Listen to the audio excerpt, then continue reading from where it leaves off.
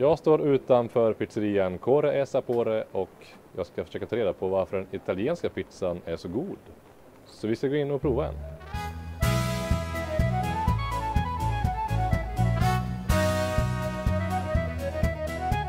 I want to order your best pizza. Okay. The best pizza is this pizza. Is a cuore sapore name. Okay.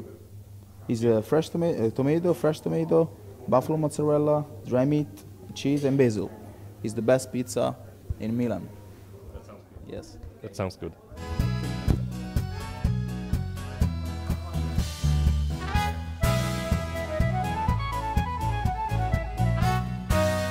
Uh, what's make your pizza here in Italy so good?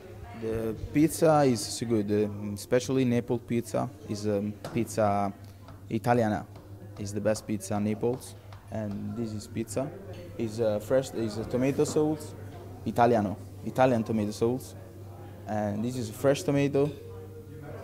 And uh, pasta is a ho- made, homemade, and uh, this is a cheese, grana cheese, oil.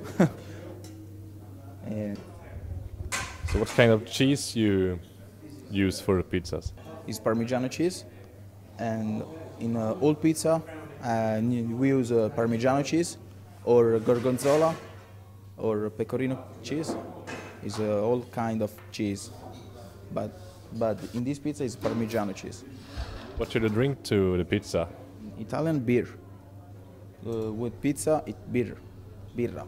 So it's not wine as we think in Sweden. Um, for in, in Italy, wine is for uh, red wine is for meat, and white wine is for fish. Ma, uh, but for pizza, is better birra for Italy.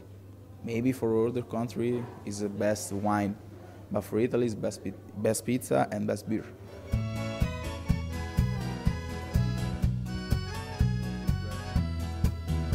You can eat this pizza and taste the real uh, taste of pizza italiana and napoletana.